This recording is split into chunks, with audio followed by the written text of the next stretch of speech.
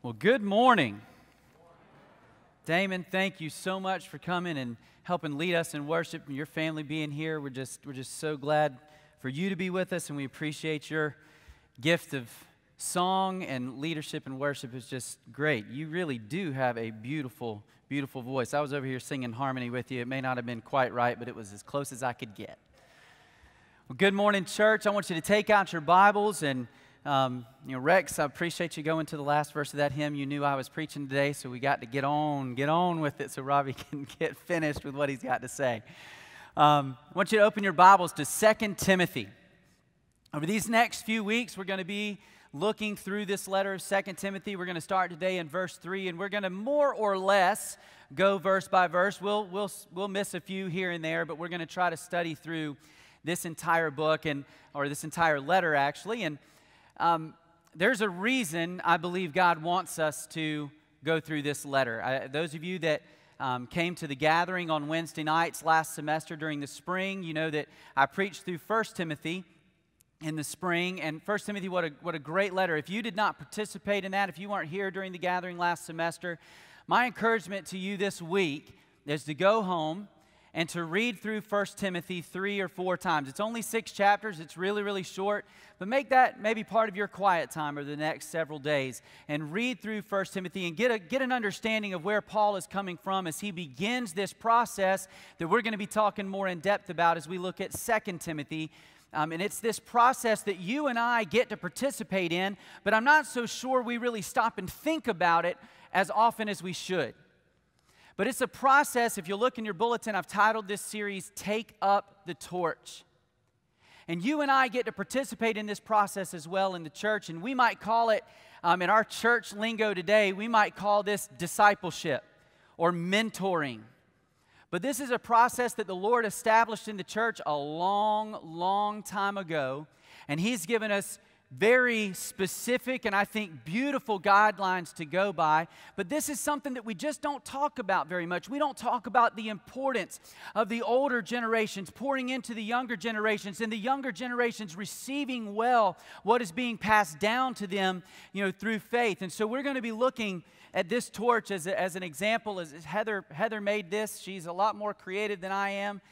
But we're going to be thinking about this torch and what it represents. This torch may represent a particular area of ministry that God has gifted you in. It may represent a particular spiritual gift. It represents, for, for sure, it represents the gospel. This torch represents the light of Jesus Christ in the world. And you and I get to participate in carrying it on from generation to generation and holding high the torch of Christ to all who would come to him. But we don't always do that well. We don't always do that intentionally like we're taught in the scriptures. And so we're going to look as we go through Second Timothy, we're going to look at how God has laid out for us this process of taking up and passing on the torch of ministry, the torch of the gospel. And as we as we go through this letter, I want you to think and and I want you, I want you to put yourself into one of three positions. And I talked about some of this. Like this is kind of intro B. I did intro A this past Wednesday, and that's that's kind of how this series is going to go. I'm going to preach through, through verses three through through seven today. I'm going to preach through verses eight through 14 this coming Wednesday night, and then we'll be in chapter two next Sunday. And so if you come on Sunday morning and you come on Wednesday night, you'll hear it all. If you only come on Sunday morning, you'll hear half. If you only come on Wednesday night, you'll hear the other half. And I guess you'll have to talk to your friends about what you missed missed. Does everybody understand where we're going from here? All right, very good. I needed a breath there. But I want you to put yourself in one of three positions. You're either going to be in the position of Paul. Maybe you have known the Lord for a long time, been walking faithfully, serving Him in the church for years and years and years, and you have gained a lot of wisdom in how to serve the Lord and how to follow Him and you've gained a lot of wisdom about particular areas of ministry that God has called you to. You understand your spiritual gifts fairly well. You've had a lot of successes in following the Lord, and you've probably had your share of failures that have built up the wisdom that God has put in you. and you are a Paul. All of your mentors have, have passed on, have gone on to be with the Lord, and now the torch sits solely in your hand. And you're a Paul. It's time for you to, to learn how and to begin that process of, of bringing others along and getting their hands on that torch and helping them learn how they can take up that torch and take it well from you to be able to pass it on to the next generation behind them. Some of you Pauls, you might, as we go through this, this letter, you might find, you know what, Robby, if I'm just really honest, I've kind of dropped the torch. I got, I got burnt out in ministry. I got tired of doing the same old thing. I got, I got to a point where I felt like nobody wanted to take the torch from me, so I retired from my job and I also retired from my ministry in the church. And let me tell you this let me encourage you and challenge you in this way. If you're willing to admit that maybe you've dropped or laid the torch down, you can still pick it back up. But let me also challenge you in this there is no retirement plan from ministry. The retirement plan that Jesus has laid out for us, when He is ready for you to be finished with ministry, He will call you home to be with Him. There is still something, if there, are, if there is breath in your lungs, if you at least have the ability to pray, then in some way your hand is still to be on the torch. You may be at home today. You may not be able to come to church anymore. This is your church home, and you have invested years and years and years in the life of this particular fellowship. And you say, Robby, I really want to be able to keep my hand on the torch, but I can't. But oh, you can. Your hand is still on the torch. Maybe you don't bear the full weight of it anymore, but your hand of prayer, your letters of encouragement, your words of encouragement. You can maybe pick up the phone and call somebody that you know is in that same area of ministry that you used to give your life to, and you can still help to pass the torch on. So, some of you are in the position of Paul and Paul alone. Some of us in this room, you're in the, you're in the position solely of Timothy. You're either young in your faith, maybe you're new in the church, maybe you're a teenager or in your 20s or maybe even your early 30s, you're just you're just kind of starting to figure out who you are in Christ and how the Lord has gifted you. Maybe this is something that's never even been on your radar. Maybe you've grown up in church, but church to you has just been what, you, what am I supposed to get out of it? You've been raised, and somehow in your mindset, you just show up here on Sunday morning and you sit in a pew, and it never has even crossed your mind that there is something for you to do that you're missing out on. But you're a Timothy, and you're going to learn as we go through this letter, you're going to see, you're going to sense the Holy Spirit speaking to you and saying, You need other people that are older than you, that are wiser than you, that have gone before you to invest in you. You need their wisdom. And I said this this past Wednesday night for all of our younger folks, our Timothy's in the room that are worshiping with us today. Here's the, here's the truth. You will never arrive where God wants you to be in your spiritual life the way He wants you to arrive there without the investment of those who have gone before you. Not that the Lord can't get you there. We're going to talk some about that. The Holy Spirit does step in. Sometimes the torch does get dropped, and we just have to pick it up and figure out how to get going. We're going to talk about that in just a minute.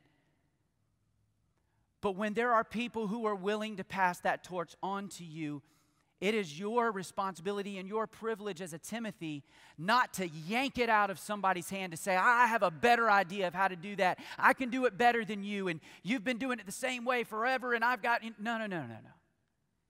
You have the opportunity to say, Teach me, guide me, show me how to put my hand firmly on this torch and how to carry it well with my gifts and my talents and the way God is leading me. Help me become who God has called me to be. That is such a privilege that we don't talk a lot about in our world today.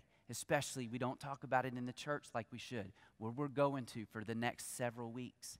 Some of you are solely in the position of Timothy. But then there are some of us, and I, f- I feel like I'm in this category, who really are kind of in both situations. So, position number three is that in some ways you're a Paul. In some ways, there, there, you've been serving and you, you've, you've learned a lot and grown a lot in ministry, but there are people that have, have, have, are coming up underneath you that it's time to start learning to pass the torch on to and to start to invest in and starting to disciple that younger generation. Maybe there are some teenagers or some 20 somethings that you need to be taking under your wing. So, in that, in that respect, you're a Paul. But at the same time, you're, you're also still in need, and I know I am still in need of people older and wiser that are praying over you and encouraging you and teaching you how to continue to take that torch. Here's the, here's the, the way it should always be there should always be at least two hands on the torch. At least. There is a Paul, and there is at least a Timothy on hand on the torch at all times. And sometimes there are three. Sometimes there's a, a an older Paul and kind of a in the middle Paul and, and a Timothy at the same time. Sometimes there are three, but there are always to be at least two hands on the torch. And as we look at the letter of Second Timothy here, we are seeing this torch being passed, officially being passed. Now, if you go back and you'll read through First Timothy, you'll see the beginnings of this process. It's not a moment. It's not something that you walk up to somebody and the, or, you know, the nominating committee says, hey, will you do this job and figure out how to do it? Here you go. That's not how it works. It's a process of investing your life into someone or maybe several someones. But it's a process, and we see as we read through 1 Timothy, we see the beginnings of Paul really pouring into Timothy and teaching Timothy. And if you know a whole lot about you know, know really anything more about Paul and Timothy's relationship, you know that they spent a great deal of time traveling together and planting churches together. I believe that Timothy helped to actually pen several of the other letters that Paul sent out to other churches in the New Testament. Timothy and Paul had a close, intimate relationship, and we're going to see that illustrated here in these first few verses. But we see in 1 Timothy, we see a very vibrant Paul, a Paul who is still fully in ministry mode. He is still fighting the good fight and inviting Timothy to join him in fighting that good fight. He is still going strong. But then here we find him in 2 Timothy a few years later. We find him in a, a dark, cold prison cell. And he is at a place in his life where he realizes that his ministry years are coming to an end and probably his life is coming to an end. He still longs to see Timothy, but in 1 Timothy, it's, I'm coming to see you. In 2 Timothy, it's, please come and see me. Now, we don't know whether that ever happened or not. We don't know if Timothy ever made it to Paul before Paul was executed, but we know he wanted him to come. So, as far as we know, this is the last interaction that we know about between Paul, Timothy's father in the faith, and Timothy, Paul's son in the faith. Now, Paul had other, other folks that he invested in. You could say Silas, you could say um, Barnabas, you could say John Mark, you could say Luke. I mean, there were several other people that, that Paul mentored. Timothy wasn't the only one, he just happens to be the one we know the most about. So I want us to look at these few verses and glean a few things, a few practical steps, a few, few practical things that you and I need to know to begin this process of taking up and passing on the torch. And as we go through this letter, I'm going to be giving I'm going to be putting tools in your hand. I'm going to remove every possible excuse that I can think of for you to actually do this. This isn't going to be something where you can come on Sunday morning and Wednesday night and you can hear Robby talk and then it's over. I'm going to be challenging you to actually do this. Get involved. This is what the Lord wants us as First Baptist Church, and I believe every church personally, this is what He wants us to do. For, the, for His glory, to further His gospel, to effectively reach people for Christ here in Florence and around the world. This is where it starts. So look here in verse 3. 2 Timothy chapter 1, verse 3. Paul says to Timothy, I thank God whom I serve, as did my ancestors, with a clear conscience. And this is very important. This is something that's easy to glaze over, and I don't want to glaze over it. For all of you Pauls here that are worshiping with us this morning, it is very important in order for you to effectively disciple and mentor someone else in the faith, it's very important that you are able to approach God with a clear conscience. Now, Paul did not always have a clear conscience. You can go back to Romans 7 and you can read Romans 7, and Paul will tell you about his conscience and how he felt before he was converted. Paul realized there was something missing in his life, he just didn't know what it was. But then Jesus met him on the road to Damascus and completely radically changed him. Now, Paul is not saying that he is without sin, he's not saying he's perfect, but he is transparent. He is in a position in his life where he is transparent before the Lord. He's not, there's nothing hidden. There's, there's, he's not pretending to be someone he's not. And so, for all of you Pauls in the room, that is very important for you. Is that you are clear. You have a clear conscience with the Lord that you aren't putting on, that you're not, that you're not carrying around hidden and unconfessed sin. Dr. Kent Hughes wrote a beautiful commentary um, on 1st and 2nd Timothy and Titus, the pastoral epistles. And there was a quote, and I can't say it any better than this, and so I want to read what he said in regards to this particular very important nugget of truth here of, of Paul having a clear conscience. He says this says the old warrior is chained in a dripping winter cold dungeon awaiting the executioner's axe. And as he surveys his life, his conversion, and then the kaleidoscope of sermons preached and shipwrecks and confrontations, deliverances, stonings, beatings, and victories, as Paul looks back and surveys all of that, his conscience is absolutely clear. There is no guilt no weight of unresolved sins, nothing to confess. He has been true to the gospel and he's been true to his calling. He was not sinless, but he was blameless and he was faithful. Could you say that about your life? Or are you like many believers in our churches who are trying to put on a face. Because if you are, I would beg you today to stop and say, Lord, I confess everything to you. Because here's, here's how this is going to work. If you're willing to invest yourself into someone that's coming along behind you, and you have hidden and unconfessed sin, it's going to hinder your effectiveness to them. And one day, here's what's going to happen some Timothy of yours is going to see you fall and it's going to crush their faith. Now, that doesn't mean that you're perfect. I'm going to use my grandfather as an example. I could use people here in this congregation as examples, but as soon as I pick somebody, I'm going to leave people out, so I know better than to do that.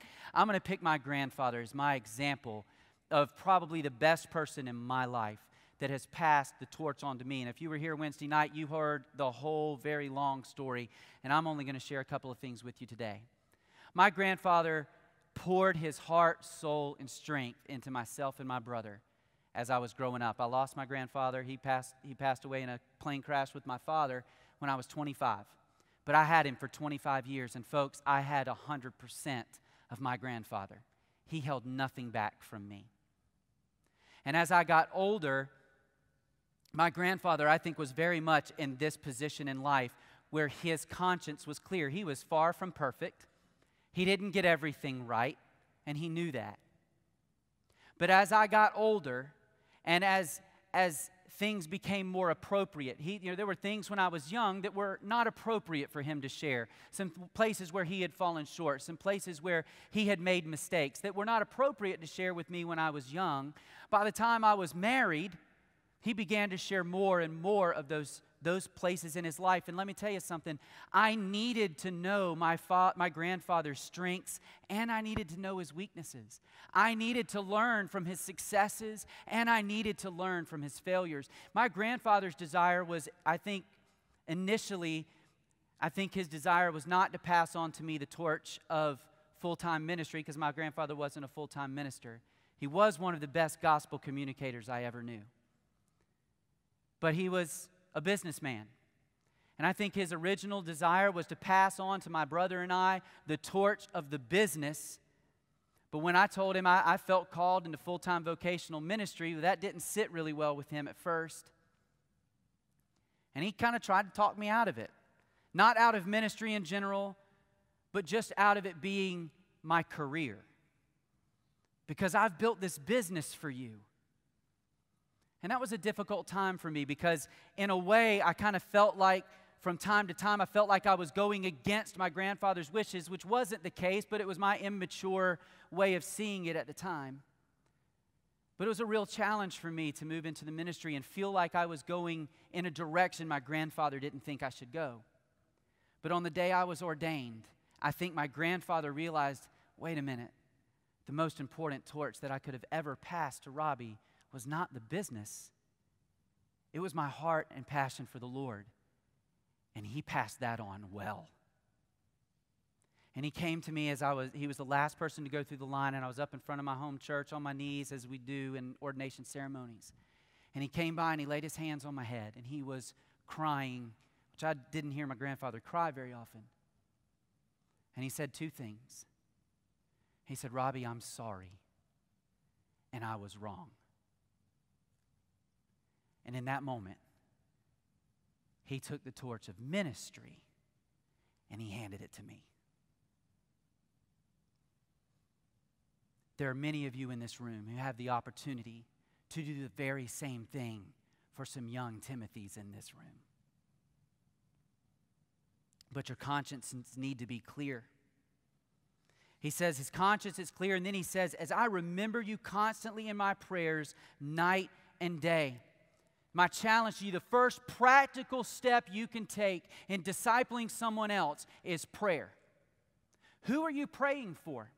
Are you praying for anyone? Those of you who are Paul's in the room, are you praying that God would send you some Timothys? That he would give, that he would put on your heart some people in this congregation that you could pour your heart and soul into? Because Paul prayed for Timothy constantly, night and day. I don't think he's exaggerating here. I think Timothy was very important to Paul. And he poured his heart and soul into him, and he prayed over him constantly. Those of you who are in the position of Timothy here this morning, are you praying and asking God that he would send you some Pauls in this congregation that could lead you and teach you and pray for you and love you and guide you? If you're not, today needs to be the day that that starts. Start praying that God would send you some Timothys Start praying that God would send you some Pauls. And then once God starts to lay those people on your heart, because I believe He will, I believe He will lay specific people on your heart. The more fervently you pray, the more clearly He will speak. And as He does, then you start praying specifically, and then you enter into an intentional relationship, just like Paul did with Timothy, an intentional relationship with those people, and guide them, and direct them, or learn from them and appreciate the gifts that they give to you. Paul prayed for Timothy constantly and consistently. Who are you praying for?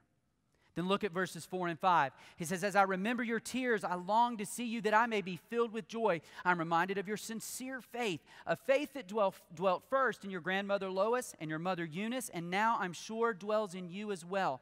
Paul knew Timothy. He knew Timothy well. He says, I remember your tears. He, he knew what made Timothy cry for joy, and he knew what made him cry in pain. He knew Timothy well. And Timothy brought, Timothy, brought Paul what? When Paul thought of Timothy, what did that bring to Paul? Joy, yes, it's written right there in the Bible. If you ever have a question, look down at your Bible. It's usually written there. Okay? He brought Paul joy. Now, here's the thing I've already told the Timothys in the room that it is vital that they have a relationship with a Paul in this church, but here's the truth for all of you Pauls. You need the Timothys in this church just as much. Maybe you've gotten to a place where you feel like you've lost your joy in ministry. Let me tell you, you will get your joy back the moment you start spending some time with a few Timothys in the room. Now, they may think a little differently than you, they may have a different approach, they may have a different personality than you, but they will bring you joy, they will bring you excitement, they will renew a new spirit in you. As you build that relationship with them, as you begin that process of passing the torch onto them intentionally. Paul knew Timothy well. He knew his family, he knew where his faith come, came from, and he was convinced of the gifts that Timothy had. He says, For this reason, in verse 6, I remind you to fan into flame the gift of God which is in you through the laying on of my hands. For God gave us, not a, gave us a spirit not of fear, but of power, love, and self control. Here's, here's another truth. Here's another practical application. As I've gone throughout ministry in my life, there have been many times where I have walked by in churches or in ministry, I have walked by torches that have been dropped, that needed to be picked up, and somebody had to pick them up. And I'm just young enough and energetic enough, I guess, at the time to go and pick them up. And let me tell you something about doing that. When you pick up a torch of ministry in some way that you don't know anything about, and you have no one in front of you to guide you, to pray with you, to encourage you through it, it is a terrifying process. It's, it's fearful. You experience that spirit of fear. But when you have someone older and wiser that is loving on you and pouring into you and speaking truth into your life and saying, I am with you, I am beside you, giving you opportunities from time to time to sit in their seat, but not thrusting it on you all of a sudden, when that process happens the way God intended it to happen, then all of a sudden God instills in, in that young person power. God instills in that person love. God instills in that person self control. And then they are able to carry that torch and carry it it well. This really isn't complicated. It's something that I'm not really sure why we've allowed it to kind of slip out, you know, slip off of our radar in our, in our church culture today, but we have. And today, I'm beginning the process of begging you, challenging you, pushing you, whatever it is I have to do, to say, take up the torch. Take it up. If you've put it down, pick it back up. If you haven't started to reach out and begin to receive that torch from someone older and wiser than you, then take it up. Maybe you're listening to this message today and you say, you know what, all of that is really inspiring, but I'm not really sure how to do that. Maybe you don't even have a relationship with Jesus, and it starts there because that's what this torch represents. It represents Jesus Christ. That's His flame, not ours. That's His light, not ours. And if you don't know Jesus Christ today, it starts right there. Surrender your life today to Jesus and begin that process, and you will find a church right here at First Baptist that will love on you, that will pour themselves into you, and that are going to commit to walk hand in hand with you and disciple you along the way. I'm going to put tools in your hand. I promise not to leave you hanging. Give me a couple of weeks to kind of get us all going in the same direction, and I'm going to put things in your hands to help this process move forward. But my challenge, my prayer for you today is that you would begin taking up the torch, that you would pray for either God to send a Paul or a Timothy or both your way, that you would begin to pray for specific people in this congregation and pray that the Lord would show you how to begin a relationship with those folks.